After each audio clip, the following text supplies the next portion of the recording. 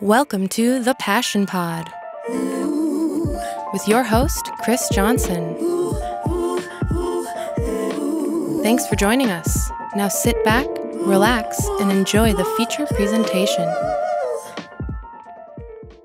Welcome back, friends. Today we're chilling in my dining room, Studio P, if that's what it's called, Studio Passion. I don't know. This is my dining room, and I'm welcoming a guest who I didn't even know lived in LA. So thank you so much for coming back to the Midwest.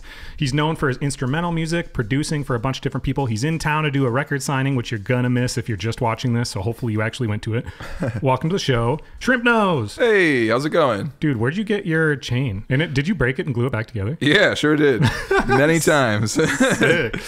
Um, it was a gift from a fan a couple years. Well, not I shouldn't say a fan. Somebody I I know that used to throw shows in Duluth Gotcha. a couple years ago, and I, they got it from a glass blower in Minneapolis that works at Legacy. yeah. Okay. And uh, yeah, it was just a gift. They they got it and were like, I think you need this. Are you ever gonna get another like a replica made that's not broken? You could do a gold one. I should. Yeah, I would like to get like a. You should have different variations, You know right? Depending mean? on the show. Yeah. Yeah, you could have some some bling. So what are we doing in Eau Claire? Why are you here? Besides this, I mean, this is the real reason. But other than this, why are you in Eau Claire? Um, I'm playing a show tonight at Abraxas. Oh, Um, shit. Yep, should be should be fun. I got some merch and whatnot. Um, I'm playing with Sl- Sl- Slow Sly Love and Lesh. Uh, Slow Sly Love I've known for a while. We're both uh, we, we we were both active in the scene in Minneapolis for a while. I kind of stepped away a little bit, um, just not living there anymore. Yeah, But um, yeah, I'm I, I'm excited to play. dude, he rips on a skateboard. I don't know if you knew that, but he- Really? yeah. So I own the skateboard shop in town, Yeah. Passion Board Shop. That'll turn ten in April. Woo! Nice. Um, but growing up, there's a shop called Underloud, and that was like the shop that I hung around at, and he rode for that shop.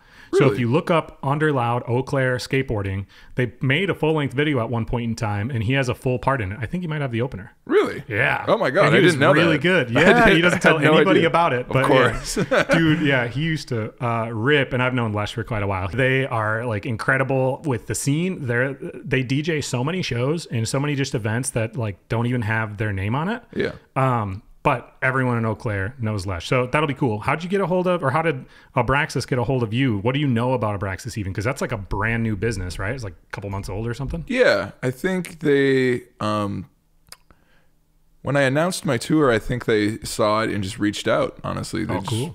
thought it would have been a good fit. Um I met the dude a couple weeks ago at the in Minneapolis at the Yusuf Days show. Seth, you're talking about? Yeah, yeah. Yeah, cool. Yep. Uh, uh, yeah, I met Seth there. Um he was like, "Hey man, you're going to play my show in a week or two. Sick. yeah. Yeah, it was cool. So you're from Minneapolis, or what part of Minnesota are you from? Buffalo originally. Where's It's Buffalo? About an hour west from there. Oh, okay. Yeah, Yeah, so sort you're of out in the sticks. When did you move to the big city, and why did you move there? Um, I so I went to Nor- Nor- North Hennepin for about two years. I think I, dr- I drove there every day, and I just got kind of sick of the hour dr- dr- drive t- to school every day, and I really wanted to go to the U, U the U, U, U of M. Um, I was a psychology and sp- sp- Spanish m- major Yeah. and it's a really good psychology school. So Oh, sure. yeah, I, I, I wanted to go there, and I went. Didn't make any friends. I did pr- pretty good in school. I just Yeah. didn't like the atmosphere really, Sure. and at the same time, I was uh, kind of getting more obsessed with producing and stuff, and I just wanted to devote my time to Sure. that. What was your first like intro into music? You were you making beats on a computer when you were in middle school? Because like these types of programs have now at this point been around a really long time. Like if you go back to like 30 years ago, you couldn't do that unless you had a ton of money. Yeah, But even like when I I'm 33 and when I was in middle school, I think it was I was like 13 when YouTube came out. Mm-hmm. But really it was around that time frame that it was just that boom of all of a sudden everything was available to you. So in high school, I knew a lot of kids that were already playing around with music. What, Yeah. what was your experience like? Um, my dad got me a drum set when I was four years old. Did he regret that? Um, well, he, he and my mom are in a band as well. So Oh, cool. my whole life I grew, just grew, grew, grew up around it. What kind of music was that? And do they still play? Yeah, yeah. Oh, what are the, what's the band? It's the the, the, the, the, the, Everett Smithson band. I think I've heard of them before. Really? Yeah, I think They so. they play a lot It's in like the area. Folk kind of. Yeah, like Yeah, folk okay. blues. Yeah. just like American. Yeah, because I covered Blue Ox before that music Oh, cool. festival, and I think I'm not saying they perform there, but I think I've seen their name pop up via all of our mutual friends or something. Anyways, continue. Nice. Um, yeah. So in elementary school, I took lessons for a couple years just to try to like learn the right way, and then I kind of from there I just t- I taught myself. I Okay. was a big me- me- metalhead. Yeah. So I I learned to play the songs I liked to learn how to play. You know what I mean? yeah, yeah, yeah. What metal bands? And did you like Google how to play them, or like how did you figure? Did you watch videos and then try to copy it, or would, how did you learn that? I um I w- would mainly just like take what I learned in my lessons and try to play along to songs Oh, and sure. like you know what I mean? I could hear Yeah. what was what was happening, so I would try to Yeah, there's only so many notes, really. Yeah, yeah, yeah. right. Okay, um Gojira was probably my favorite band. sick. They're, Heard of they're, them? they're still probably my favorite like m- metal band. Okay, Uh Mastodon, Lamb of God, sure. yeah, all, all, all that kind of stuff. Some of the really big ones. What was the first show you remember going to? Gojira, Lamb of God, Metallica. Uh, How the- old were you? It's like 13 maybe. Oh, cool. yeah. Who'd you go with? Did your parents bring you that? My good friend Cedric and his dad br- br- brought me there. Oh, cool. And your parents were like, yeah, you can go to a metal show. Because Yeah. those things get rowdy, don't they? Yeah, I mean, it was the Target Center, so it could only get so rowdy. you I know? suppose. Sure. So when did you start making how did you develop into the sound you make? That's I mean, right now we're talking about a huge time frame from metal to you make like for the most part in, instrumental like chill hop and everything in between. But when did you start making more instrumental stuff that was I assume most of what you make is digital, right? Like on a computer or no? Yeah, well, I mean, i record all the instrument. Oh, All, okay. All the instruments. Yeah. Um, I taught myself how to play guitar and piano and bass in like middle school, high school, Okay. and kind of just been playing ever since. Sure. Um, I play upside down. I'm I'm a lefty, so I just oh. I don't restring it or anything. I just flip it upside down, which is a little weird. yeah. But um, yeah, I I these days I record basically all, all the live instrumentation myself. Um, My sound is mainly just like re- re- re- re- recorded, Yeah. like sam- samples that I I make, and some synthesis, but Sure. not not a ton. Sure. Where were you at music wise? So you went to college at the U of M and you just didn't really find your people there necessarily. What made you then stay in Minneapolis and how did you kind of find your people there? Because you must have found people, otherwise you wouldn't have stayed. Yeah. Um, Bobby Raps threw a beat battle in like 2014, I think, Oh, okay. at, at the Red Sea. Sick. and I met like legitimately all of my friends there. Like still to this day, like th- like my friend JLap, I was in a group called Cram with him a couple years ago. Um, my friend Fib, he does like all my co- co- cover art. Um, a few others, yeah. That that specific night was a pretty instrumental moment in my life. Weirdly enough, Sure. Were, what kind of music were you making at that point? Were you already making music that was similar and that's what attracted you to want to go to that show? Similar, just much less fleshed out. Oh, Just okay. just a worse a worse version.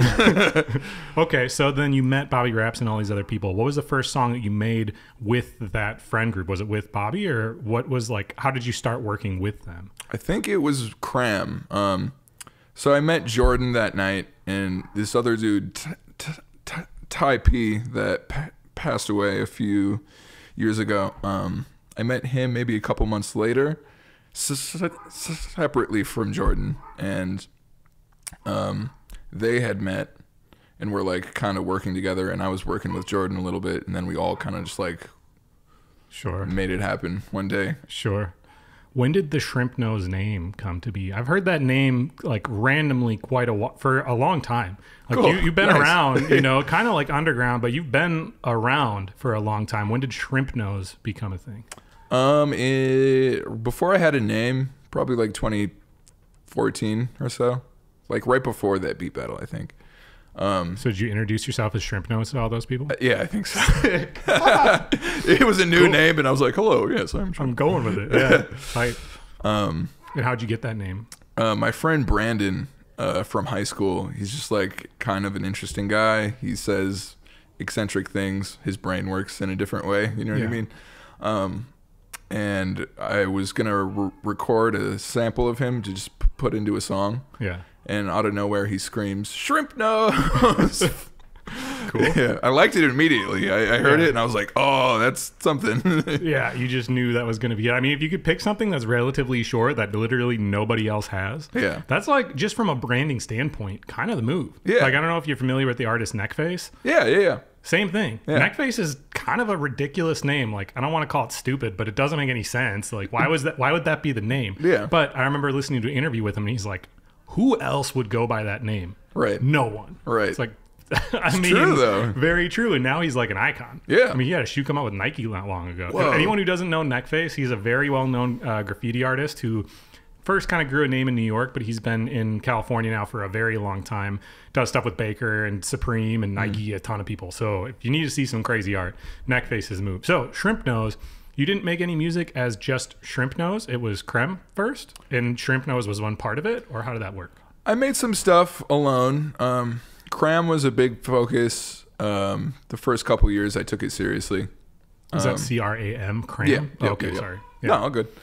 Um, yeah, Cram was a pretty big f- f- focus for a couple years, um, and then Ty passed away in 2019, and he was kind of like the glue of the group. Sure. You know what I mean? He kind of like just made it all make sense. Yeah. Um, we tried to like make it work without him, um, but yeah, it just you know what I mean. It was Yeah. tough.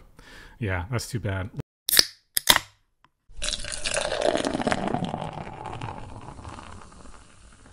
How long, like how much music did you guys put out as a group? Is there like a whole bunch of albums, 150 songs? Like how much music is there? I don't know if it's quite 150. we did a couple albums though. Oh, okay, cool. Probably seven, 70. I, I might be overestimating a little Sure. bit, but did you put out all the music specifically on albums, or were there a lot of singles and stuff? Was there like a lot of SoundCloud time frame? Like, what did that look like? there was a lot of like loose SoundCloud stuff, a lot Yeah, of okay. singles, a lot of. I remember Ty had this idea to do a song every Friday for a couple weeks, and that ended up working out really well, actually. Really? yeah. Dang, that's a lot of music. I know there's a lot of people that have jumped on trends like that just to like try to have some excuse to be consistent. Yeah. Sometimes like it's hard to push creativity, like because I've talked to a lot of people about where they get their creativity juices from, and you can't force it, but you can encourage it. Yeah, you know, course, of and by putting sometimes putting a box around it, such as like a timeline or limiting to certain instruments or whatever. Sometimes just having a starting point is all it really takes, and it makes it way easier than if you had to start from nothing Yeah, no, absolutely.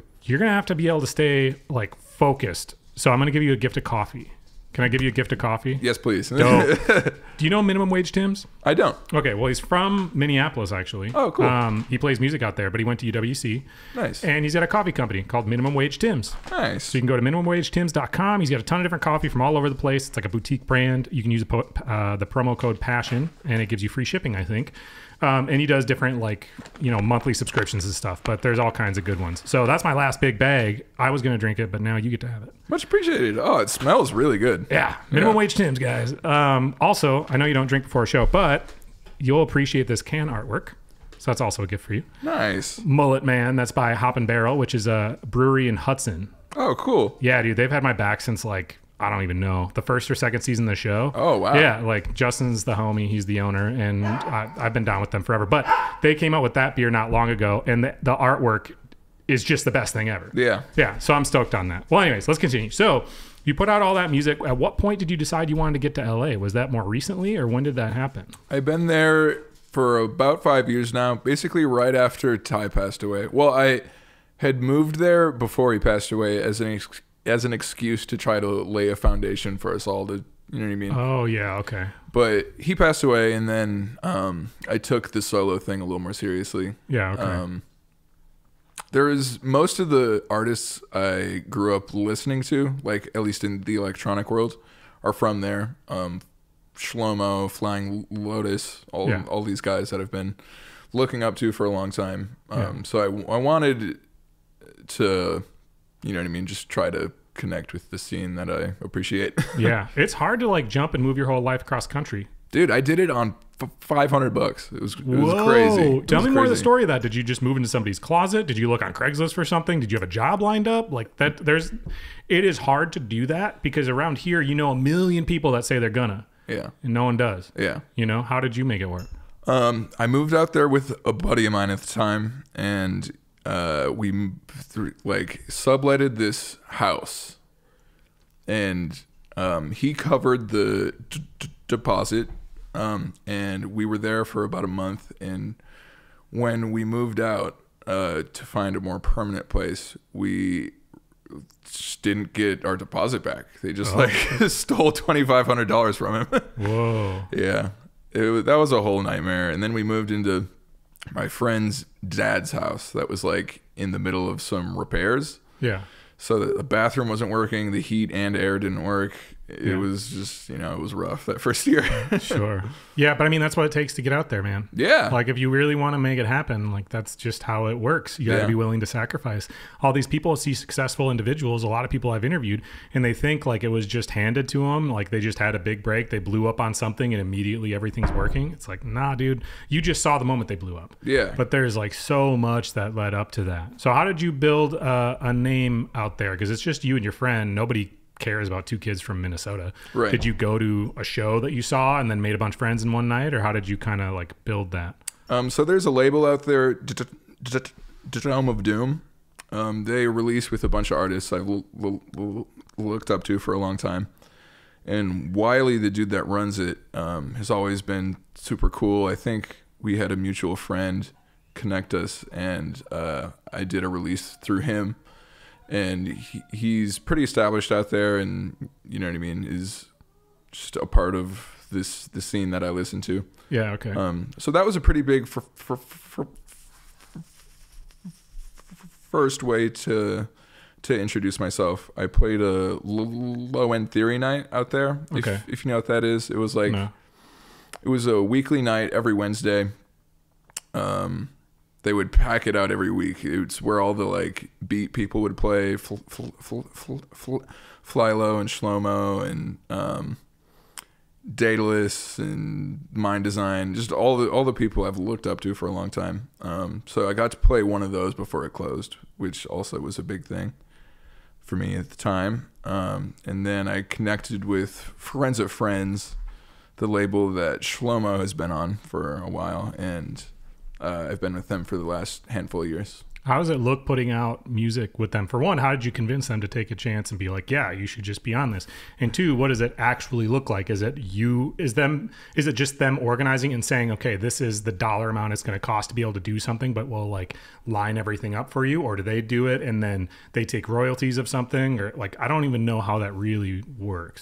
It's all a very collaborative, you know, like I'll, I'll send him a batch of songs, get his thoughts, maybe tw- tweak or change or add more. And Yeah. um, it's funny, I, I sent him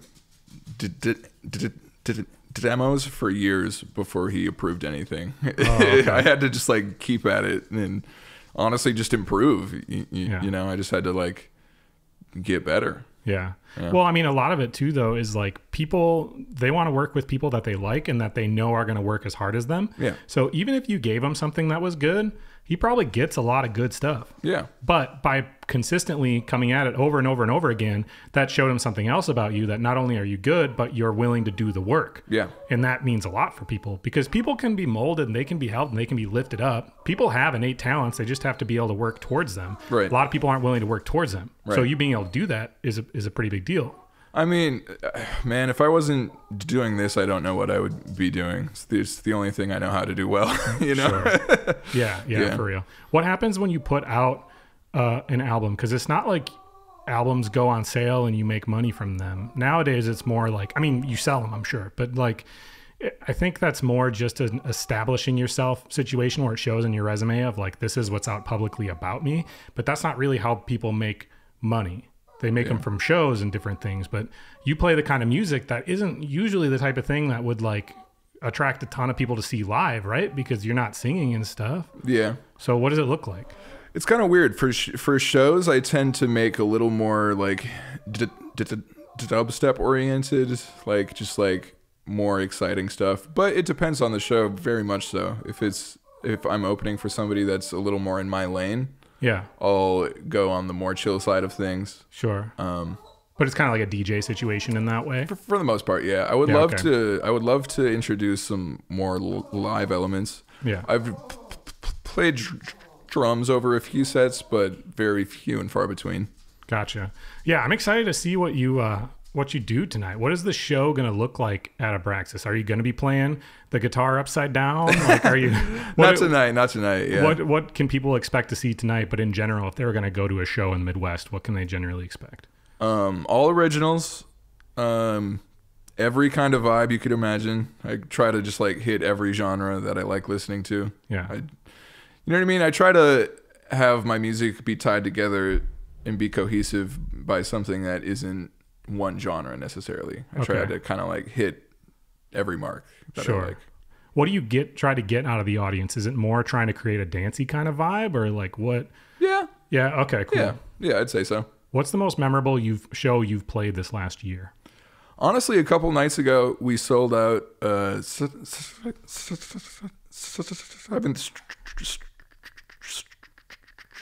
Street entry. Yeah. Okay. First Ave's like secondary Yep. like spot. Cool. Yeah, it was my first uh, headline I sold out ever, so that was Really? that was pretty exciting. That's a good one to sell out. Yeah, Sick, dude. Yeah. I'm sure like spending any time in Minneapolis growing up, that's like a, I guess I was there for the first time ever recently, but that's like an, a very iconic venue. Not that 7th Street or First Avenue for that matter are like massive spaces, Yeah. but they're just I, like iconic. Everyone in Minneapolis knows about them. How did that show line up? Did you have like some people from your team reach out? Did you do all the work for it? How does that get put together when you live in LA? uh, I've played there uh, many times over the years, probably Okay. ten or fifteen times. Sure. Um, so I have a good relationship with the people that work there. Um, and yeah, I think me and my team both reached out as we were setting up the tour to make sure that I had like a good hometown Yeah. Release show. Sure. What's the tour like right now? How many places are you going? Like what how many what's the number and what area of the country are you doing? Is it all in like a van?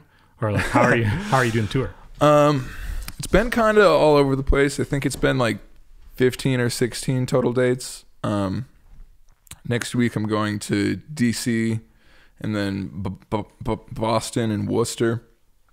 Worcester is just a little town outside of Boston. Sure. Are you like right in the middle? Is this like number 8 or like what show are we at? I think the f- first Ave show the other day was 10 or 11. Oh, so you're towards the end. Okay, Yeah, cool. yeah, yeah. Yep. We played so far. We've done New York, Chicago, Denver, Portland, San Francisco, L.A., Fargo, Minneapolis, and then tonight Eau Claire, D.C., Boston, Worcester, and New York. So Again. how does Eau Claire get on that list? We're like listing a bunch of major cities in the in the whole country. Eau Claire is dope. Don't get me wrong. There's a reason I live here, but like it's not a big music city. Yeah. Like for the area, people like it's known, I guess, for music a bit. But Yeah. Like I- not, people from LA don't come here a, a whole lot to perform. I know you're not from LA, but Yeah, yeah. even so, Yeah, I don't know. Seth just reached out, and he's a really nice guy, easy to work with, and Cool. wanted to make it happen. And I was in in the area already, so it wasn't like they had to fly me in or anything. Sure. Yeah. see, that's how we get. In in case anyone ever wonders in Eau Claire, like, how do we get these people? The secret is we get people not on a weekend. Yeah. I mean, I know that's weekend right now, but generally speaking, like we get people like we have comedians all the time. We just had Sam Tallent here. We've had Oh, Dina cool. Hashem here. Yeah, I got to interview both of them, which was Nice. dope. Whoa. Um, and then we have Sean Patton who's coming next week, which I'm interviewing him before his show. But we just catch them when they're like going from Milwaukee to Minneapolis or Madison, what- you know, whatever, when they're coming through. Yeah. And Colin Ryan, the station manager for uh, Converge, as well as he like organizes a lot of different events in Eau Claire, especially at the Plus. He does a lot of their stuff. I think probably all their stuff. But he reaches out when he sees these tours and goes, "Looks like you have a day off in the middle. Why don't you come What's on? it gonna cost? you, it looks you probably weren't busy, so Yeah. so we're able to get like a lot. Of, it's just about being savvy. you know what I mean? But right. we're able to get like a lot of people. So this album, tell me about this album. What like how many tracks is it? How long did you work on it? What's the general vibe? Who'd you make it for? Give me some info about it. Um, yeah. So this is my first pr- pr- project where I, uh, I sing, I sing a little bit. I'm singing on a, a good, Cool. a, a good handful of these songs. Um, I got really big into, uh, I started listening to a lot more like folk songwriter stuff, like Elliott Smith, Alex G, sort of stuff. Um, and I wanted to make a record that's hitting that vibe, but through the that vibe. You know what I mean? It's just doing that, but through the lens of like an electronic producer. So Cool. um, it was very much so for me. It was like me. Uh, I felt like I had something to say for the first time. You know, I had always wanted to record, but I didn't feel the urge to write lyrics that made me feel good. Sure. I felt proud of, but I felt like I had something to say. I had a crazy few- years. I lost a bunch of weight, bunch of like personal transformation kind of stuff, leaving old things in the past, moving forward. You know what I mean? Just Yeah. all, all that. And I wanted to kind of say what I had to say on record. and kind of like a inspiration for other people kind of a way Yeah. or cool yeah. So it's not all totally inspirational. You know, sure some yeah, of it's but like sharing your experience helps with other people yeah, Yeah. yeah, yeah, Cool. So, I mean, I have to ask, just because people who have deal with speech impediments in general, doing singing seems like really difficult to do. Oddly enough, singing is there's something to do with the brain where if you sing, you just, just won't happen. Is it because you memorize the lyrics and it's like premeditated, or like It's not even that. I don't know entirely the science behind it, but I think when we're speaking, we're trying to decide on the spot what to say. You know what I mean? We're trying yeah, to like sure. anticipate what we're about to say. But if you're singing, you n- you know what you're supposed to. Sure. You know what I mean? Even if you're like like I'm freestyling right now. You know what I mean? Like it still ends up being, huh? Yeah. I guess I mean I've interviewed a ton of people at this point, and it's I've it's funny how I guess I assumed anybody who does a career vocally would just be very clear with the way that they speak. You know what I mean? Like they would enunciate very clearly. They'd be very straightforward. That's not the case. yeah. You know what I mean? I like my favorite rapper. His name's SonReal. He's from Vancouver. You got to check him out. And I keep shouting him out on the show because he let me interview him backstage not long ago, which was like the dopest night ever. Oh, um, nice. But he came up as a rapper, and now he does a lot of folk singing. Oh, but cool. It's, so it's like a hip hop Oh, folk, I- but then like also that. rap tracks. Right. That's what I was thinking. Like I think I think you would like it. But I interviewed him, and it was like, wow, you are not that clear of a speaker at all. Yeah. Even though he's a beautiful singer, Yeah. like he's a great rapper. I'm like, huh. Yeah. I guess everyone just has like totally different skills in the way like when they're focused on one thing, like that works, but not necessarily everything in that realm works the same way. Yeah. So uh, just interesting because I was wondering if that was one of the reasons that you never sang in general in the past. Um, yeah, I think subconsciously it was like a barrier just because I like talking on the mic can be kind of weird. Yeah, And I feel like being a vocalist inherently involves a lot of like talking on the speaking. mic. Yeah. But yeah, I just decided to fucking get over it. Yeah, you know, like I'm yeah. still gonna do it, but Right. it's just my life. You know what I mean? I gotta accept it. There's plenty of people that have had very successful career, like James Earl Jones, for example. He he used to have one. I think he was s- still. do- Did he pass away? James I'm Earl not Jones? sure. Yeah. Um, I know he is like a famous person known for his voice specifically. Yeah. And he he had one. Yeah. What was the first show that you played that you sang? I, I, I don't sing live. You yet. haven't yet? I, I'm doing the like DJ playing me singing on my computer. You know what I mean? Sure. I'm still, eh, I'm just not good enough of a singer to like feel confident. Well, I mean, Not not even involving my speech, just Yeah. like literally my Right, voice sure. kind of sucks. dude, no, you're gonna get there. You're gonna you're gonna watch Lesh today. Have you played with Lesh before? Uh-uh. Have you seen Lesh perform? Uh-uh. Okay, you're gonna you're gonna play with Lesh today, and you're gonna see them like singing over music they play. Cool. Um, at least I would assume they will on some of what they play tonight because they typically do, and it's gonna inspire you. oh, cool. And then and then you're gonna want to. What's the the most recent um, band or musician or in general like music you've found that's been inspirational to you? That's a great question. Um, honestly, it's it's. I was already very familiar, but Justin Ver, Ver, Ver, Ver, Ver, Ver, Ver, Vernon's new solo project from this summer was like incredible. Probably Sure. my favorite thing that I've heard all year. Why was it your favorite one? Cause it like I'm a huge fan of his more electronic sound as of late, but Okay. this project, his solo project, was a lot more stri- like stri- stripped back Yeah. um, which I felt like was a nice, re- refreshing side uh, to to hear from him. Yeah. Is he? Are they done making music as Bon Iver? I don't think so. Oh, okay. I, just heard rumors that he played a show not crazy long ago, and I guess he stopped it mid show because he was crying about, like, physically crying because it was like the end of an era of some kind of way. So that's rumor that I had heard, but I don't know if there's truth to that or not. I saw him play in Duluth That's the show this, I thought I was talking this summer, about. and that did happen. He stopped Yeah. and cried, but I don't think he mentioned it being uh, like Sure, end of the band. sure. I think it was just like personal lyric Yeah, okay. stuff getting to him. I Yeah. might be wrong though, you know. Dude, if your music touches you after how many times you've performed that song and played Yeah. it in general, if it still touches you enough to make you cry, it must mean something. So I guess we all need to go check out that album. Dude, that was probably my favorite live show I've ever seen. He's- Really? He somehow sounded better live than he does on recording. His- Dude, some people do. Yeah. Like I saw um, Papa Roach perform. Yeah. And I'm not gonna lie, I'm not a big fan. I didn't listen to him really. Like I did Tony Hawk era, whatever. You know what I mean? And I don't hate their music, but it just was not the music I listened to. Right. And then I interviewed Bryson Roach, who's like the um, creative director for the band. He's the younger brother of uh, Jacoby, the singer. Oh, And so when they came through, I interviewed him in L.A. But when they came through, um, oh, Marina Del Rey, that's the place in California. Oh, yeah, yeah, Just yeah. clicked because he came down to the beach and we did the interview. Um, but when they came through Milwaukee and they played, he invited me to the show. So I came out and I watched it and I was like, dude, dude sounds like it, his voice is exactly the same as it is on like the track, but it's so much better. Yeah, just seeing it live happening. Yeah. You know what I mean? It hitting the place in your brain where you're expecting it to hit live. Yeah. It's so cool. Well, because a lot of people don't sound anything like it, Yeah. and they like try to like make up for it Yeah. by like really being showman, but their voice doesn't match it because Yeah. obviously they're putting things over or whatever. I mean, granted, Papa Roach has been playing 25 years or whatever, so they should be locked in by now. but like live, that was a band that I was like, damn, dude, that made me wanna wanna go to more shows.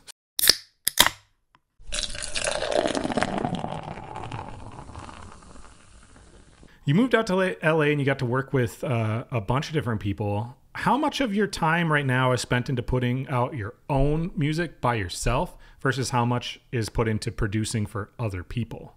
Um, yeah, I kind of took a step away from producing for other people this last maybe year or two. How come? I feel like the rap world was kind of just like killing my soul. Because of subject matter or why? Not subject matter. It's just like the environment isn't Yeah. good for my mental health. You yeah, know it's kind of toxic sometimes. There's a lot of like, I don't want to say there's a t- well, there is a lot of ego. Okay, I'll just say there is a lot of ego. Not same, that same with the electronic world though too, but Sure. it is like a little different. Yeah, sure. but there's not there's just not that much that's like really talking about like cool shit. Like I interviewed Dessa not long ago Oh, and cool. like she has like a real direction Yeah. to all the songs that I'm not saying I listen to a lot of rap music, so I'm not trying to like knock rap, mu- rap music entirely, but generally same. it's more surface type stuff that is being talked about. Yeah. So it kind of limits what you're creating to a certain degree. Is that kind of the reason why? Yeah. it you wanted to go deeper into other subjects and stuff and have more meaning? I think I just it. This is this is gonna sound kind of dumb, but I um kind of just like do and make whatever I'm feeling in the moment, and I just wasn't feeling it. You know, it just wasn't inspiring me. That's that's not to say I wouldn't like to produce for others in the future. I definitely would like to get back into that world. I just had to do it for myself for Yeah. the little bit. Yeah, no, I don't think that's dumb at all, dude. One of my favorite quotes, and I bring it up all the time, is I interviewed um, Ian Allison, who's a, a bass guitarist from Minneapolis, who's a session guitarist, plays with a bunch of people, and he's just a, a he's the man. If you don't know him, you should know him. Best dude. But in it, um, the advice he had given is he said that he lives his life based on what gives him the feeling of, oh, cool, man. Yeah, no, that's Like, exactly it. whatever is exciting to him in that moment. He said it always leads to money, anyways. Yeah, because no, it's for just, real. That's when you make your best stuff. Yeah. You know? when when you're not trying too hard, you know what I mean? When you're Mm-hmm. not trying to make a product that'll make you money is when you're going to actually make something that makes you money. sure, sure. So, what what serve or like what's the benefit of you still living in LA? If you're now for the most part just making stuff by yourself, you don't have to be surrounded by a million people. You could live in Minneapolis and just send the tracks and then have Zoom calls with these people. What keeps you living there? I mean, I so I work with a lot of producers. I do a lot of like collaborative producer type stuff. Okay. Um just not a lot of like producing for v- v- vocalists. Yeah. and I have a lot of good friends out there that I enjoy w- working with. Um, Somni, I share a spot with. Har- Har- Harris Cole, just, just just all the guys on Friends of Friends. Yeah. with me. Um, What kind of stuff do you create with them, and what's your role within that? we also kind of just vibe it out, man. Yeah. yeah, we just kind of like see where it goes. We're we're all kind of in the same mental headspace where we don't like overthinking it too much. Yeah. You just want to make cool shit. Yeah. Do you sit down with like soundboards and like have a jam session? like, what does it really look like? Yeah, we'll like b- both play guitar at the same time or something and try to come up with something or there's a bunch of instruments at the studio. There's like a drum kit, everything you could imagine really. Sure. so that makes it pretty nice. We can just kind of like jam on something for a little bit until we find something that we like and kind of approach it from there. Sure. So how come you keep like if you look up your name in general, social media, if you look up your name interviews wise, this is the first long form interview. You've been around forever. Was there a specific reason why you've kept pretty underground? Like you really haven't pushed your name to the front. You've made a lot of this stuff, but you've been relatively quiet about it. Is there a reason for that or no? I'm just kind of shy. I think. You need a PR agent. Yeah, right. I need Oh, somebody to. yeah, I. I don't know. I struggle with my self esteem a little bit, Okay. and you know what I mean. It's fucking. It feels a little weird just talking about myself for for an hour, but it's it's good. It's like it's a good exercise. Yeah. You know what I mean? Yeah, well, I, my brother-in-law said something like, "People like to like things that other people like, and if you don't like what you do and people don't know you like it, they're not gonna like it." Yeah. Right? If Yeah. that if that made any sense, Yeah, it's yeah. like you have to be a fan of your work in the first place, which you should be. You know, it's not a like egotistical thing. It's just if you're putting it out, I would assume you like it. That's the point. Yeah, you have to like it. Right. So you like it, and then you tell people about it because you like it, and you think they'll like it. Then somebody else does, and then it snowballs. Yeah, Right. But it's hard if you don't promote it. You know, because even the biggest art- artists in the world, if they don't promote, their albums don't do well. There's a reason they have PR teams. It's not exclusively about creating good stuff. Like, and it's not exclusively about going on tour and playing shows. If people don't know you're there, how are they going to discover it in the first place? Right. You know what I mean? right. Thankfully, like you haven't had to play headlining shows forever because you've been working with other people. So there's like different avenues and everything to that. But I think it's a good step Yeah. to to do this type of thing, not exclusively this show, but in general, this type of thing. That's what's going to expose more people to discover the music that they will like Yeah. if they just knew it existed in the first place. Yeah, this this last year I've been trying to get out of my own way in the sense of like I'm singing now, you know what I mean? I got to like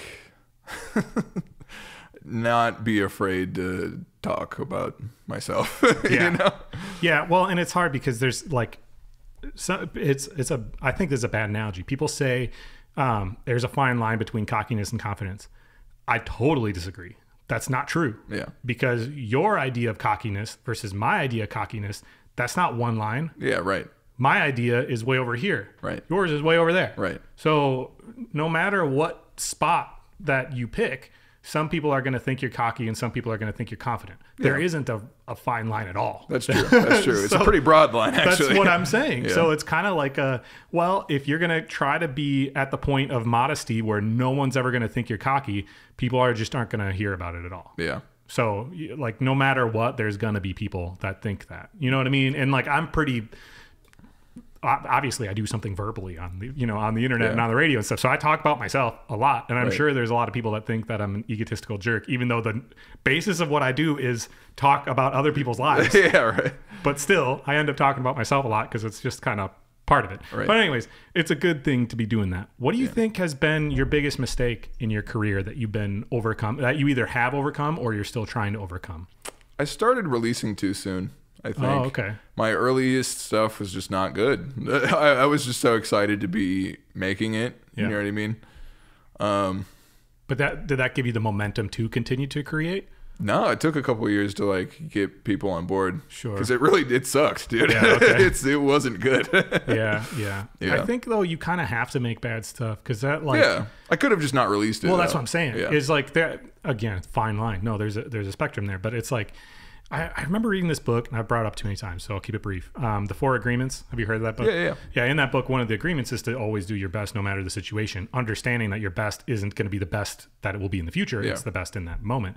You know, so just as long as you put out the best that you can in that moment, because so many people wait and they think they can't put anything out until it's incredible. Mm. But it's going to take them 10 times longer to get to that skill level because they don't put anything out. That's the yeah, that's the other side of the coin. Yeah. You know, do you hoard it until it's perfect or do you kind of like let go of it and let it be its own thing? Yeah. You know. Which is not going to be perfect. Yeah. You know, even if you wait until you think it's perfect, two years down the line when you're better, you're going to look at it and go, that was trash. Yeah. Yep. You know what I mean? Like Yep. there's a, I think there's a balance there. But I do think that people need to be a lot more patient than they currently are. yeah, absolutely. A lot of people, they want to, I mean, look at, do people make an Instagram account for something that doesn't even exist?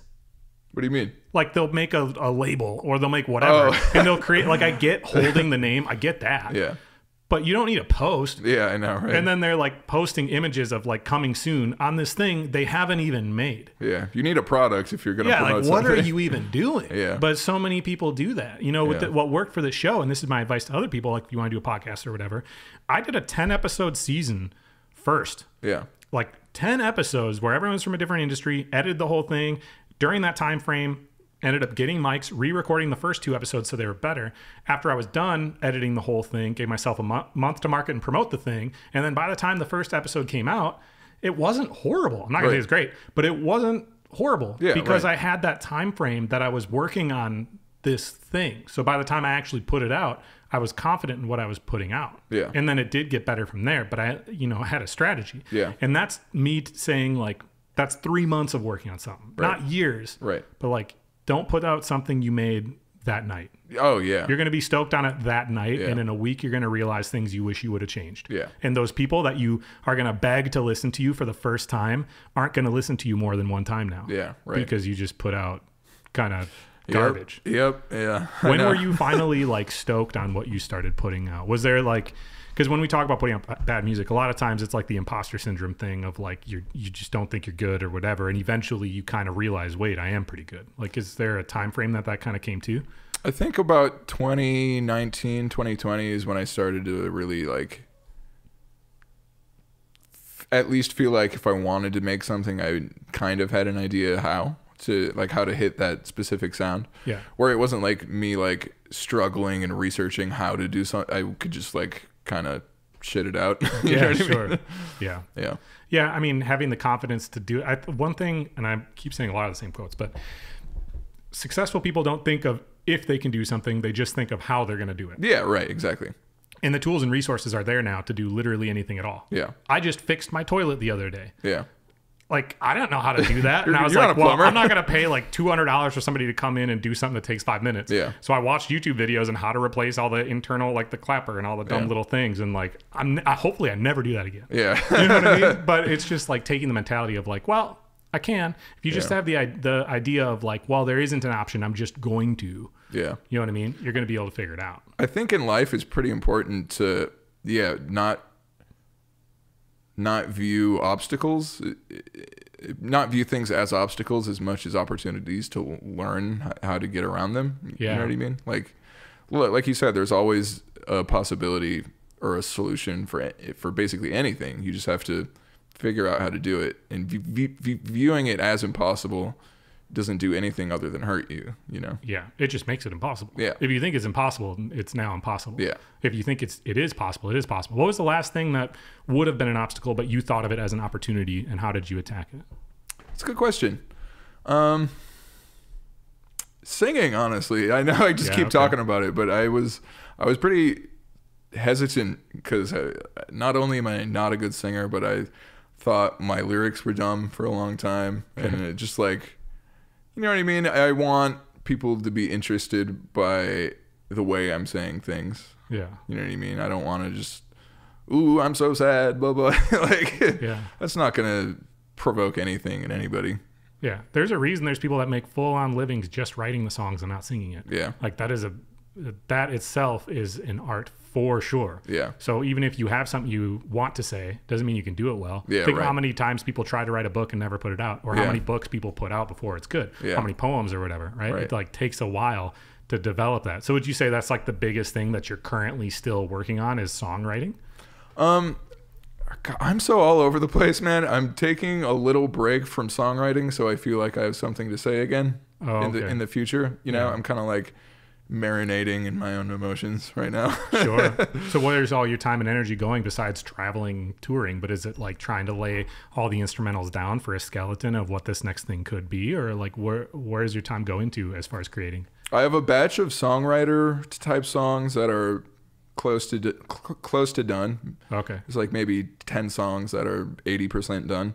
Yeah. But I'm taking a little break away from those to get back into like some instrumental type stuff, some dancey, like four, four, four, four on the floor kind of stuff. Um, just trying to follow what inspires me in the moment and what feels like the best thing. You know, I don't want to make a, a complete pivot to be like the folk guy. Right. You know what I mean? I want to be, be authentic as much You don't as I want to be the Andre 3000 of flute playing all of a yeah, sudden. right. yeah. No, I mean, if he's having fun, dude, like by all means have fun, but like that's a, a total change. But when you're trying to do stuff that's more in the moment, what's feeling good, it's hard for that feeling to last long enough to create an album and put it out. Right. Yeah. So, I, I tend to work pretty fast for that reason. I oh, can, do you? I can. How long did that last album take you? It took about a year, but I would get a pretty good framework of each song after maybe like a day. Oh, wow. Would- Okay. Yeah, that is quick. I, I yeah, I would get it laid down and kind of fine tune it for a couple months. If somebody really wanted to have you help produce one of their songs, what does it take for you to do that these days? You said you're generally trying to just avoid that. Yeah. But if somebody, because there's probably, i I'm sure there are a lot, but if, what would it take for somebody to reach out and say, I just like, I love your sound. I have this thing. It's awesome, but it needs you. What would it take? I mean, granted, I'm available if they're a good fit and it's something I want to do. You know what I mean? How do they reach out? And how do they pitch it? How do you want to be pitched? Do they have to send the song initially? Do they have to sing into their iPhone? Do they send an email to your manager? Like, what's really the way to go? Set up a FaceTime or something. You know, just like let's shoot the shit for a little bit. Yeah. Yeah. Cool. Yeah, Yeah. I mean, it's always nice if nothing else, just to network with people to be Yeah. able to say, "Oh, you're doing this cool thing." Even if I'm not the right person, maybe I know the right person, right. and I'm excited to see what comes out because maybe I'm the right person for something else when the timing does line up. Right. I always ask this question on every show, which I mentioned to you earlier. So hopefully you've had time to think about it. When you do things that you're passionate about for a living, you get to have really unique experiences that usually aren't financially driven. They're just like really dope for whatever reason. Can you share a story of an experience you're really grateful for, but it only happened because you pursued music? Yeah. Um, so I've been listening to this guy Gold Panda forever. He was probably one of the first three producers I got really excited about. Um, I, ne- I didn't even listen to electronic stuff at all before like my senior year, like zero. And he was probably one of the first few I got super into. And um, this year I saw he announced his first tour back in the U.S. in like ten years, and I am just such a huge fan. I reached out to his m- m- management and all the venues. Yeah. At every single venue, we we sent an email out to like, hey, can I open this show? Yeah. And it worked, man. I, I, I joined him on a good handful, and he's like my homie now. It's Sick. it's it's very it's very cool. It was awesome seeing him play a lot of the songs I grew up listening to over Yeah. the years. Uh, every night, it was it felt pretty surreal, honestly. Yeah. Well, and having someone you look up to respect what you do is like super, super meaningful. yeah, absolutely. Like I've gotten to interview a lot of people that I'm a fan of now, and every time I don't want to say it gives me the chills, but it is kind of like a whoa, dude, like this is wild. Yeah. You know what I mean? Yeah, Just because it's like I didn't when I started doing this, that wasn't something that I was thinking was ever going to be in the realm. Like I had a vision of what I was going to do and I expected to be successful in what I was doing, but I didn't even really consider that it could lead me to interviewing people that I'm a fan of. Yeah, absolutely. You know what I mean? Absolutely. I got a I got a DM the other day from um, um, Greg Lutzka. Dude, he's if you don't know who Greg Lutzka is, he was the most famous skateboarder from Wisconsin ever by Oh, a whoa. wide margin. Whoa. Like huge, dude. He was in like the old video games. He did all the X Games and all that type of stuff. He's sponsored by like Harley and all Mm-hmm. Oh, these wow. huge brands. He's in Walmart. Like, dude's Oh massive. Yeah. And yeah, I, I was just DMing him a couple days ago, and he's like, "Yeah, you got to come out to uh, to what's bar is he in? Ocean something, whatever, wherever he's from um, in California." He's like, "You can come out, we can record at the house, and I can hook you up with TJ Rogers and Ryan DeCenzo and all these other pro Whoa. skateboarders that he like skates with." Nice, dude. And I was talking to my partner Mary, and I was like, "I feel like I need to like I wasn't planning on going back to LA honestly in probably a while." But I feel like I have to go. You should. Because like the 14 year old me, if I would have won a trip to go hang out with pro skateboarders for a week, like Yeah. in their homes and kick it, You would do it. oh my god, I would do it. Yeah. You know what I mean? And now like those types of doors are open, and it wasn't the intent, Right. But they're there, and it's like, Yeah. whoa, dude. I feel like you you got to chase those opportunities to like gratify the young younger version of you. You Yeah. know what I mean? Yeah. No, I definitely think so. Anything that gives you that that feeling again of like, cool. Yeah. means I need to be able to do that. So hopefully I can make it out to the show. I don't I got a lot of stuff going on, but I do want to see a set absolutely and I've been meaning to get down to Abraxas. So Yeah, I'm gonna try to at least pop out briefly for this. Cool. Give the people one more time where can they go find you? What platforms? What do they search out? And more importantly, if they are absolutely in love with your music or you personally or both, how can they support you after this? Um, Shrimpnose pretty easy to find on every st- st- streaming service ever. Yeah. um, got some music videos, got some merch on my Bandcamp. Come to the shows. Um, just hope you like listening to the music. Honestly, if you, if you get something meaningful out of it, that's that's good enough by me. Hell yeah. And because you don't do it enough for yourself, social media. Go hit Oh. his Instagram, Shrimpnose. Hit the follow. That's what I'm saying. And after you listen to a music that you really like, send him a DM, not saying, hey, but saying, I listened to this. It meant a lot to me. I really enjoyed it.